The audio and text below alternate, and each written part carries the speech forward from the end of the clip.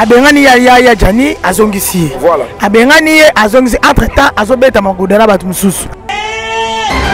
ya yi de traitre ya batéâtre hmm. oyo oh, basali mpe cause ya mpasi ya jani ah bon? na sens que faiblesse na ye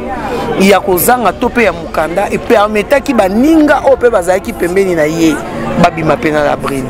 ah bon? eh, nayoka mpe te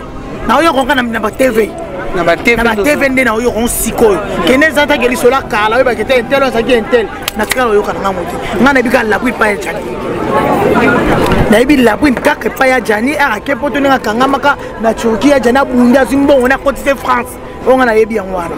mais so tobi tozonga su na bongo parceke tomoni papa moko mpe kosala émission ke amemaka labrine na turquie mpo basomba business ya koteka après turquie aye omema ye grèce ntango akomi na grèce nde bakomi oyebisa labrine alongoli bazemi labrine asali boye papa ngo aye omona mpe vi ya labrine kokoso nde atikaki ye apartir ya grèce nde ya jani azwaki labri eh, mokili ezo justice ezoloba mpo ya ngai ye eh, nakoki kokanga motema te donc ça veut dire azobima na mibali misusu sikoyo mpo na biso bato bandundu nde koko na biso ayebisa ngai alobi soki oza deja na mobali na ndako quelque soit abala yo te soki bovandi nde bosali deja 6 mois 6 mois 7 mois une année déjà comme mobali non même na l'état qui chasse ezaka bongo otikali na papa mwana oza mobali mosusu wana gene na bandefu ebele ozwa donc mabe ya labrune ezalaki kaka déjà abomi ya jani moralement faite na sens nini ya jani yo kena obimi nde na mobali na yo eloko boki osala ya jani tamso araisonne mbala moko père biloko ezalaka nono okuti na okuti mobali ono na message ya pamba kaka ya mwasi oresole deja ebela te solo bakoma deja hmm. sikoyo baofetele mobali anniversaire na ndako na yo yo ovandi na chambre bana ye avandi na salon na mobali baofetele anniversaire ata bino moko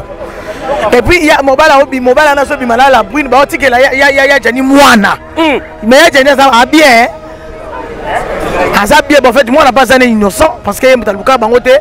bon nayebi te eloko abongo moto akosala oka mwasi mwasi amoni ke mobali akobota libanda azwi mwana ye meme mwasi akobota libanda mobali amemaka atikalaka na ye mbala liboso nayoka mais lelo labri na otala yo soki banaye kosala ya jani deja maleme maleme malembe apart bamakambo ne mosusu po toloba teke ya jani aza sain ya jani mpe azalaki na makambo na ye mabe hmm. labrine abimi mabe parce que elle est trop impolie ah? aza trop impolie impolitesse nde eza wapi na deconstruki yango mobali akufi hmm. yo ozwi telefone ya mobali okangi telefone entretemps bandeko ya mobali baza na kinshasa baza na mposa bayeba mwana bango akufi na nini ma yo okangi telefone babengi oba irene masandoki olobake eh, Eh, nakangi telefone parce bakosela nga mpe biso baofingo papa mutu nyonso azo akufani mobali ezala ndenge malo bapotaki ka buzoba bapotaki buzoba omoni eloko ayosala na suka ndenge amikisi fala sango dele debit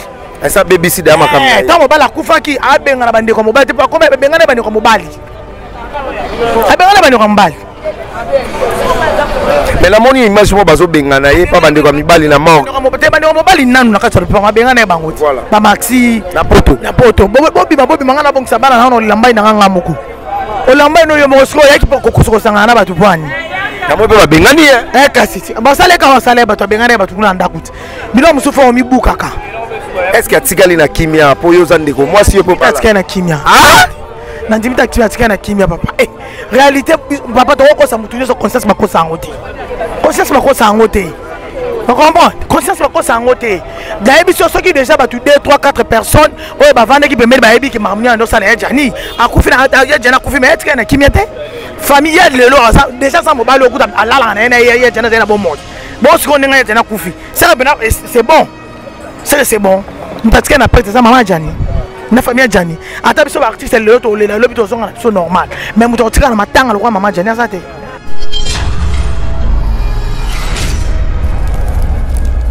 basouvenir otika nango ya janifai ya baconseil ya makambo ya malamu bana obeyanga surtout ebele mpo nayebisa kaka ya mao alimbisa ye mm. eh, donc eloko ezali kaka solo nanga na ndeko noko alimbisa nga ko alimbisa nga oyo elekesa eleka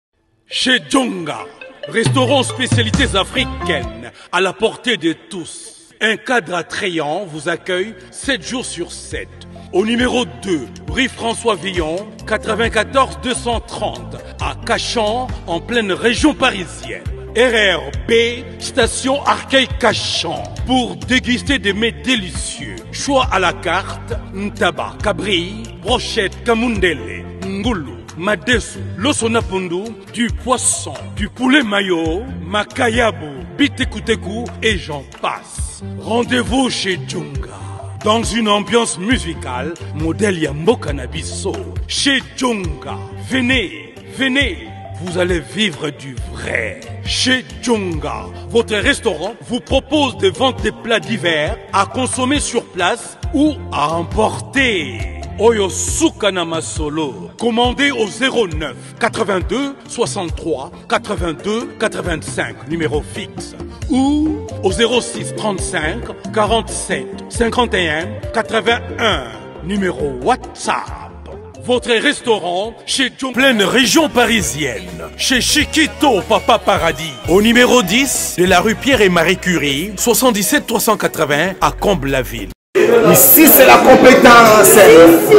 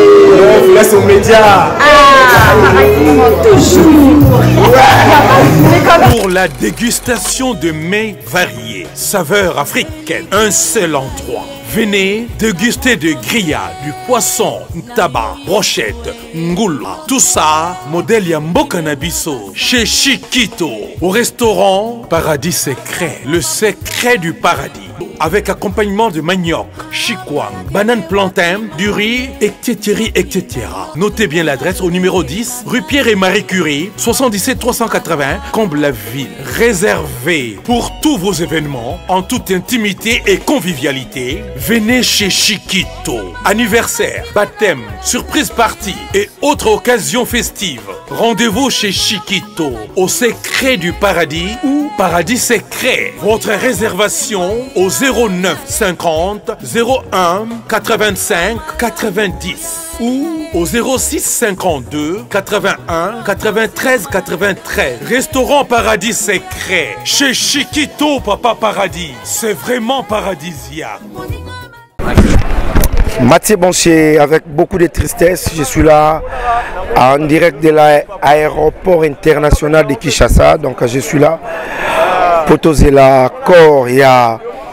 Gianni Fayi, c'est vrai, toza batu, mais pas César na mutema, parce que derrière moi,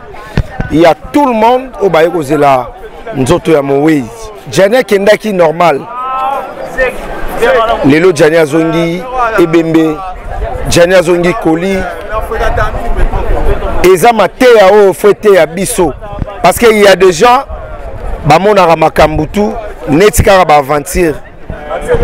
C'est vrai qu'on est des Congolais, mais on est des Bantous. Nous ne sommes pas des Blancs. Tala makambo ya couple ti ememi Gianni na liwa. À quoi sert lelo yo? Moninga akufi yo tikali. Qu'est-ce que tu vas gagner? Regardez un peu, il y a beaucoup de gens oyo baye koyamba Gianni Faye, oyo famille na ye etielaka motema,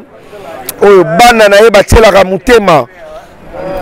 Basi na mutema, on est en direct sur Lengia Congo Télévision,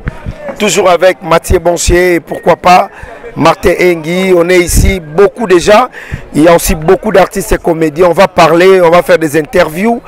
Potoye, bah, bah, regret na bango eza nini na profite napesa merci na bandeko nyonso baotala biso en direct merci na sponsor ya émission oyo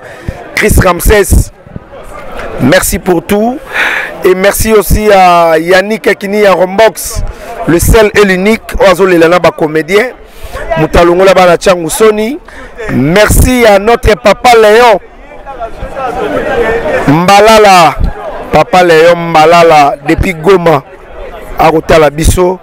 Merci à vous azolela na biso. Merci na ba comédien tout. La joie Amado Pichuna azolela na ba comédien.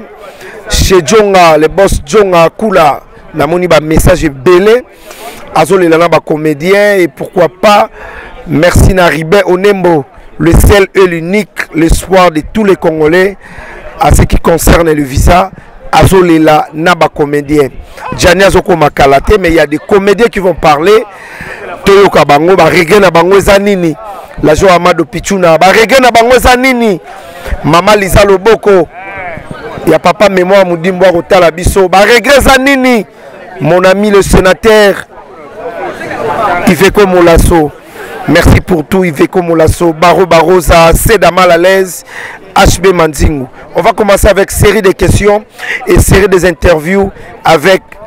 les artistes et comédiens de notre pays. Moi, c'est Mathieu Bancher,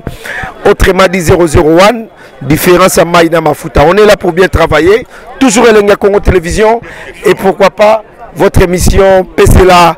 Plus Plus. À suivre. Quant à son père. L'artiste et comédien de notre pays, très très décis, toujours en train de pleurer parce qu'on est en direct sur Elenga Congo Télévision. Toza a déjà presque 22 heures tokokende 23 heures namoni bacomédien na bacomédienne baza ebele mpo na kozela nzoto ya mowei jani fai oyo shikshok loyenge ezolela ngadada ngadosa kolela bandeko ebele bakolela ba as luzolo ba la duchesse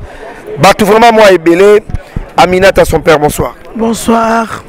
ça va dieu fait grâce voilà enfin lelo oyo ya jani mpe nakufi ayebi ke tozozela nde nzoto na ye ezosala oboni d'abord koyoka jour oyo bayebisaki yo jani fayake Bah, en fait ngai nayokaki yango mpa ese de panama nakotaki kaka nalamuki mpo nazali olala nakoti na direct chef musiquesunga biso e eh, pardon eh, na nazali olala e eh, nasutuki ah, kaka nakoti kaka te eh, nini youtube moye namoni mamoko eh, ese depart na matieke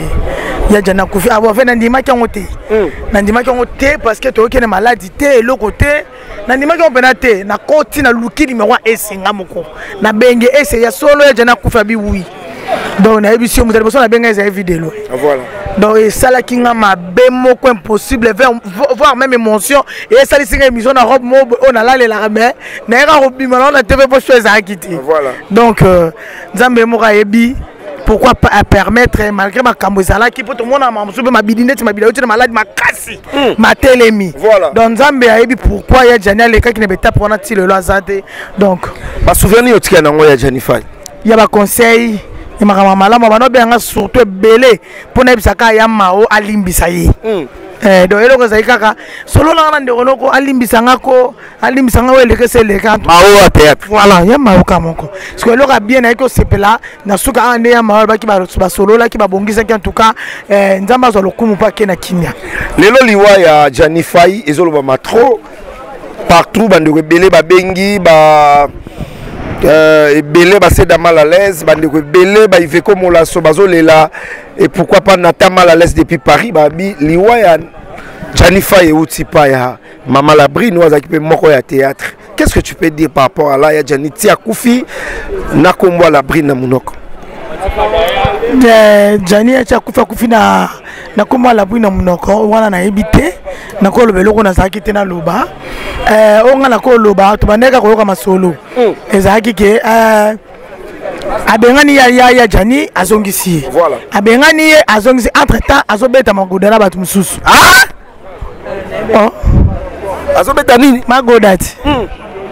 donc ça veut dire azobima na mibali mosusu voilà. sikoyo mpo na biso bato bandundu nde koko na biso ayebisanga alobi soki oza deja na mobali na ndako quelque soit abala o te soki bovandi nde bosali deja 6 mois 6 mois 7 mois une année deja ko mobali nao même na leta kishasa ezaka bongo mm. voilà ntango yo ozobima na mobali mosusu surtout na biso bato bandunda ebendaka mpe liwa hmm, biso ebendaka mpe liwa parceke na oyeba oncle na nga moko boye abelaka makasi mama biso koko na biso abiabi oyo eza sanga hmm. eh, oyo eza bandundu oui o oh. nzambe na oloba nayebi kaka na baluba na voilà sikoyo bato bayebi kaka na baluba mai na bato wana mpe ezali bati baumba bati baumba ya basorte mosusu en fait mm. eh. donc mabe ya labrune ezalaki kaka déjà abomi ya jani moralement faite voilà. na sens nini ya jani yo kena obimi nde na mobali na yo eloko boki osala ya jani ta biso araisonne mbala moko père biloko oyo ezalaka nono okuti na okuti mobali ono na message ya pamba kaka ya mwasi oraisonne déjà ebela te nsoki bakoma déjà mm. sikoyo baofetele mobali anniversaire na ndako na yo yo vandi na chambre bana ye avandi na salon na mobali baofetele anniversaire ata bino moko epuis ya mobala obi mobala na azobima na la brune baotikela ya jani mwana hmm. me ya jani aza abien ah, eh? aza bien bofete mwana mpe aza na innocent parce que ye moto aluka bango te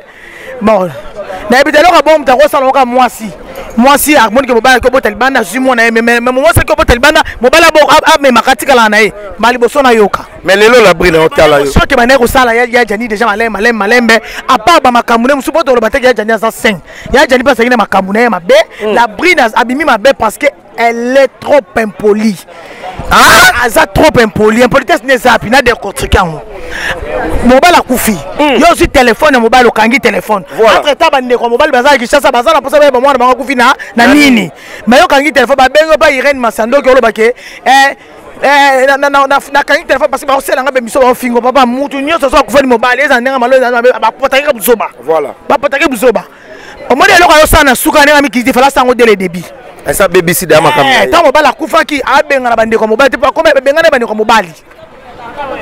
abengana bandeko ya mobali me namoni image moko bazobengana ye mpa bandeko ya mibali na morte bandeko ya mobali nanu na kati ya lopango abengana ye bango te bamaxi na poto na poto bobima bobima ngai nabongisa bana nano lilambai na ngai ngai moko olamba ino yo moko sikoyo oyaki kokosa kosangana na bato bwani yango mpe babengani ye eh, kasi basaleka basala ye bato abengani ye bato kuna na ndako te bino mosusu fo omibukaka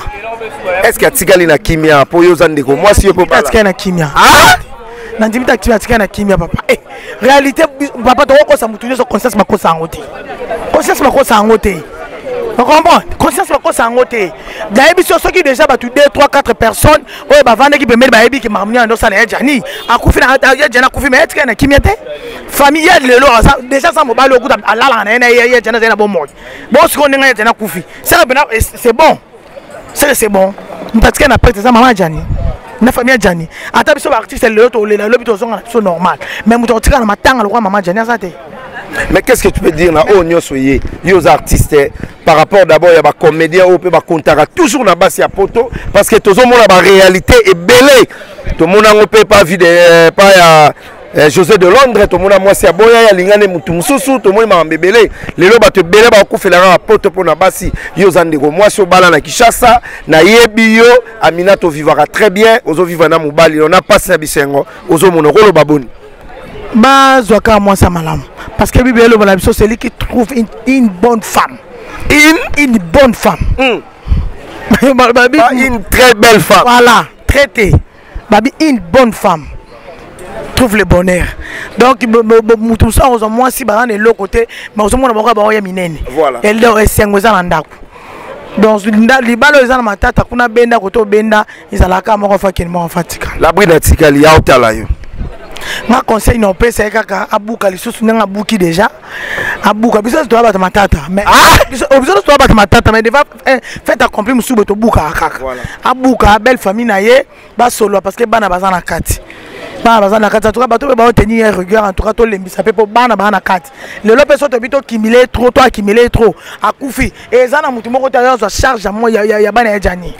aza te aza na bana na maboko asali mabe wi erreur eza eza eza biso nyonso tosala baerreur tolimbisa ye totika ye abokola bana ne na kimia abongisa na famille ya mobali na ye oyo nga conseil nakopesaki yango namoni bacomédie baolakise kaka mosapi jusque là kasi oyo nasengeli ye te nasabayaya na baleki ya jani batiki baranki na bata théâtre oyo ntango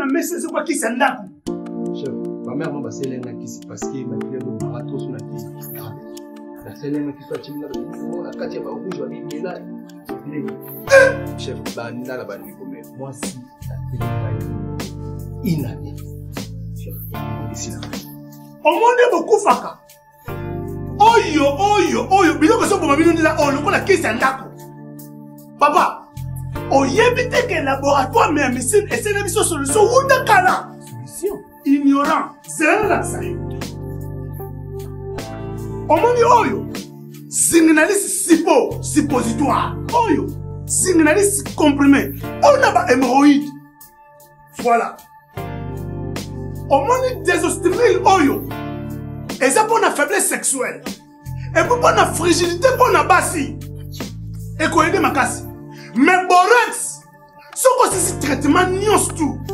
ya hemoroïde nde sikoyo kobanda kopakola yango mpo na nzoto ya biso bapapa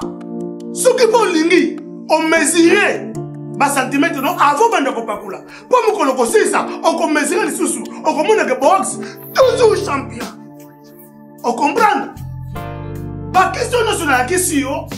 okozonga esika mosusu te na congo kaka na laboratoire me ya misine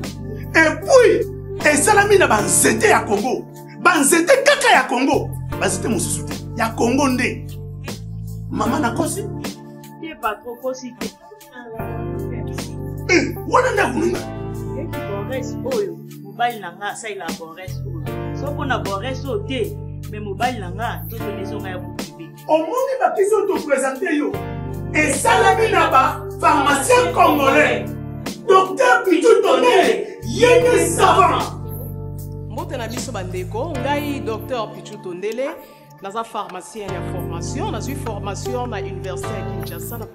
faculté ya pharmacie et puis nasali ba master na niveau ya université marien ngwabi mpe na niveau ya canada na transformation des agro ressources et puis préparation ya bacosmétique thérapeutique naturelle nazali koevre na laboratoire crmta oyo ezali laboratoire mmc spécialisé na production ya baphytomédicaments c'est-à-dire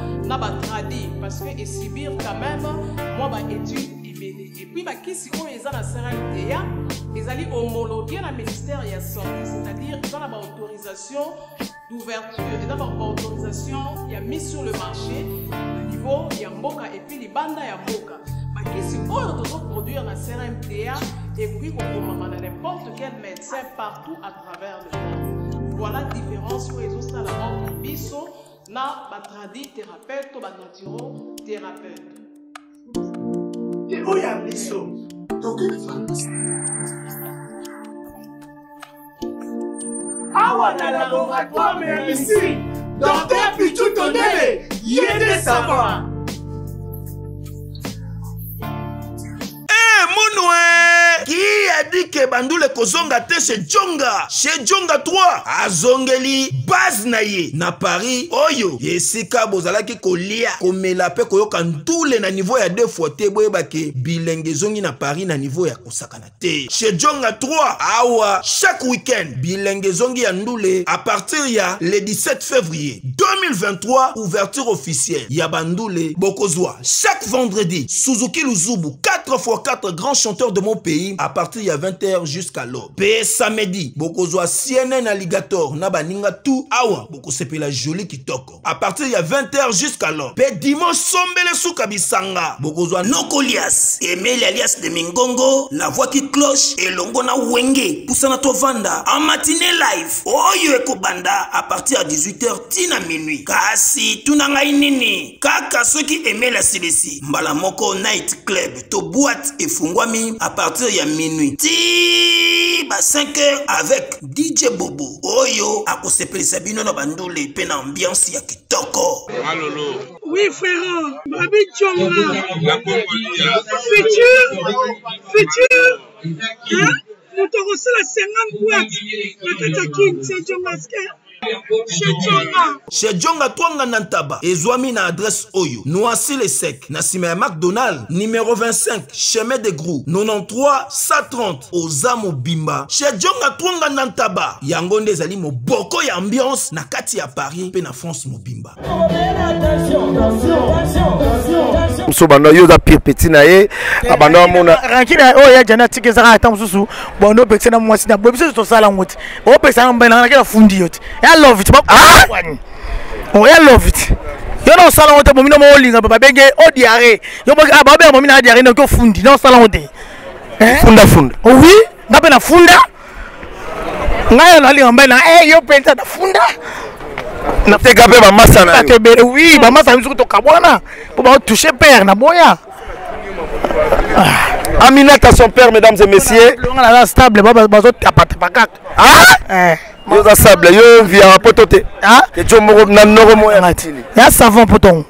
bana bakende sili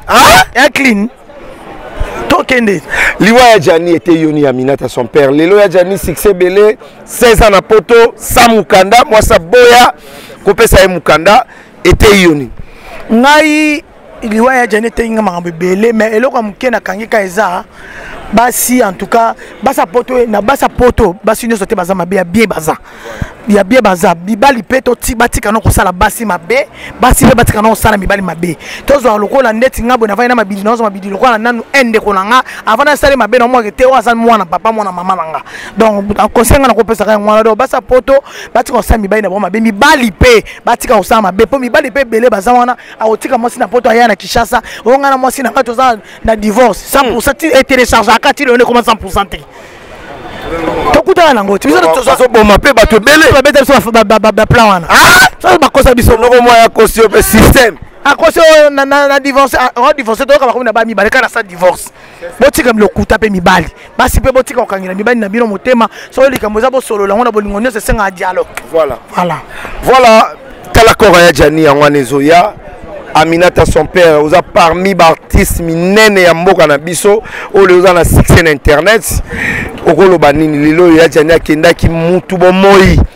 oyo bato ebele basepela ba yaniki ni ya rombox babi jani asalaka mosala bien ba Eric Mukweso maison Ephraim lelo ya Jani ye yokoli nga na yo lelo 23h toza libanda ezosala oboni moto oyo akendaki na bomoi azongi koli tala bata théâtre mpe bakolela bamisusu mpe bazoya na ndenge ya système okoloba na bango nini na ndenge ya système nini kasi misusu mpe bazoya na ndenge ya système parce que mabe eza trop mbaso eza na théâtre poison eza na théâtre mais biso tout okokokisa 120 ans te biso tu tokokufa tala jani ndenge akufi na sante na makambo okoloba nini na monde na bino ya théâtre bon oyo ngai nakoloba ya jani akendaki mobimba azongi koli eloko wana oki oloba kaka ngai abi peu importe mabele abuna asala question nzambe apermettre etani ngai ke te lokola nzambe apermettre pas de problème tosengi kaka nzambe merci ngai na opesa conseil na bato ya théâtre en tout cas bato babwakela bato bambaso bacontinue oyo batielaka to bapense bakontinue na bango hmm. eh, moto abomi na mbele akufa mpe kaka na mbele ah, eh, donc obatama biso me nzambe obatami te obatama mpe conscience no te imana oza soki eke omoni moto yango eh, aza kaka na bomoi ti lola akufi te conscience ebanda otungisi yo kaka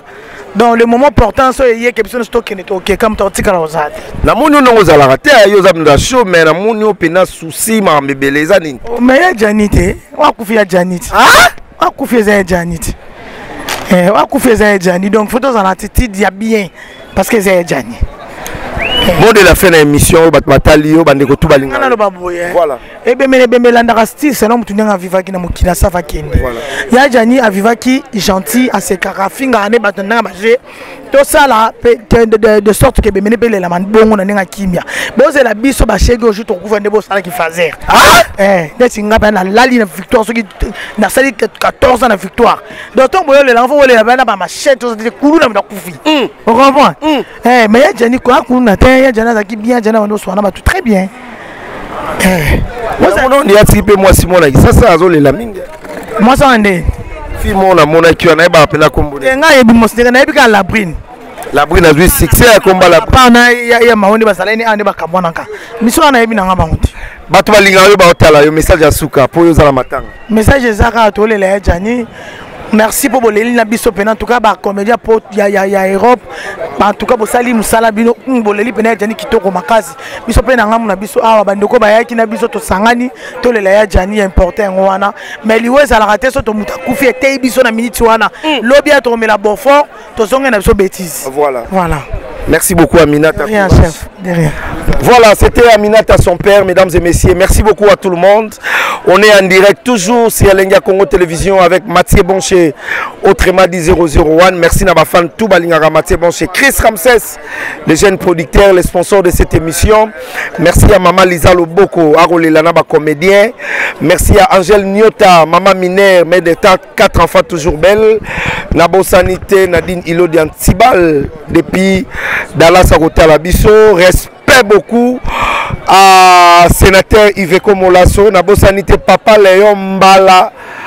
mbalalala donc depuis goma moto apesi valeur na kati ya goma ingénieur olivier kabwiku azolela na bacomédien et pourquoi pas ingénieur euh, blanchard matsili merci pour tout merci à degol mata le président de tous les bana changu à particulièrement kimbanseke donc euh, azolela na bana na bato ya théâtre donc rendez-vous eza le 14 9e mois na tottenham tokozala wana donc tofete ensemble droit d'entrée eza 20 livres sterling avec le président de gaulle mata bana kimbanseke bana changu bana njili bana maluku tokutana tottenham ekosala vraiment bien ya sam kunkule nécessaire tala ndenge nakolela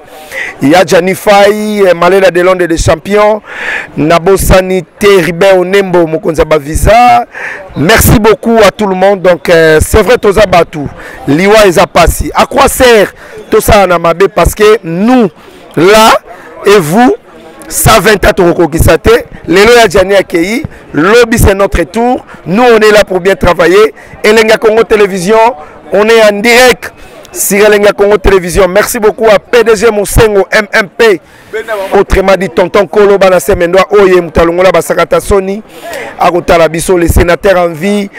euh, Rodi Mukendi, Christian Le Banquet, autrement dit les boss Manunga, Bakolelana, ba comédien.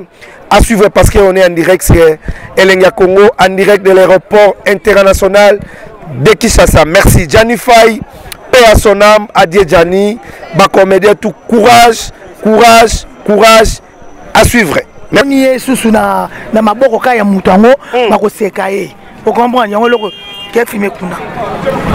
yango omoni ya jana asali nini amibendaki na ye akomisi kobenge ebwe mwa ye eza te totalai na tomonaki eh, ya ministre alobi abi nabengi ye na telefone aboya nakosi elo moko aye aye na bandi olobeli toswani na ye okomprendre de eloko moko ezalaka ta mosu omona bosali na pere ya golo bisa nazonga su te na miso bato olobi nazonga su mozongi sikoyo kozonga ozongi yango mosala osoni so obike bato bayoki esa nini ozongi wana swa tosani place wana parce que nga boyebi na tuna baquestion ya vérité mpo nga moko mpe nalobaka vérité naye naloba eloko moko koyoka to mpe bato ya poto mosusu oyo toyebi na façon oyo bapesi message yai de traitre ya bateatre mm. oyo basali mpe cause ya mpasi ya jani ah bon? na sens que faiblesse na ye ya kozanga to mpe ya mokanda epermetaki baninga oyo mpe bazalaki pembeni na ye babima mpe na labrine ah bon? ah. yagola yo ebinga nga naka très sage nga atangi te me naka mayele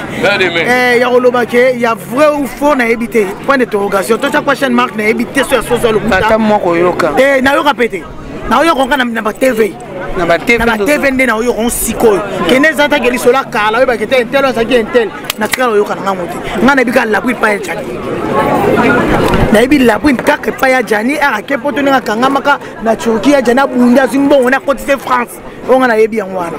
mais so tobi tozonga su na bongo parce que tomoni papa moko mpe kosala émission ke amemaka labrine na turquie mpo basomba business ya oteka après turquie aye omema ye grèce ntango akomi na grèce nde bakomi oyebisa labrine alongoli bazemi labrine asali boye papa ngo aye omona mpe vi ya labrine kokoso nde atikaki ye apartir ya grèce nde ya jani azwaki labril tozongi sikoyo na ndenge ya bato ya maboke okangi question na nga mai nazongi sikoyo na ndenge ya bato ya théâtre lelo yo oza na papa ya biso mabidi que je sali en passant nayebi ke ya, ya bolamu mpe esalema ya mabe mpe eza ebele esalema oyo ozwa mpe peut-être temps ke okeyebisa ye mpe ke mobali na ngai ta likambo boye eleki mayebisi yo nalingi koyoka yango te fanda ndenge ofandaka esalemi oyo esalama te nalingi koyoka yango te donc azo mpe aza mposo oloba te ayebi so nalingi te zalaka bien likambo yango nayoki ayoki yango papa ya bacamarade ya famille kasi mpo eloko ya jani eza que labri na oyo opesi barapport no ta moninga no a moninga no be moninga sete naza sur baoyo oyo peut-être mobali no apekisa yango na bango eza baoyo ezalaki plus pire ya mabe ah. mais komona ke ya jani ekomaki mpenza ke aina bato mpo labri nakweyiselaki ye yo mpe ntanke oza na mobali na ndako tu peux conseiller quoi par rapport à ça bon ya koyina bato par rapport labri nakweyiselaki ye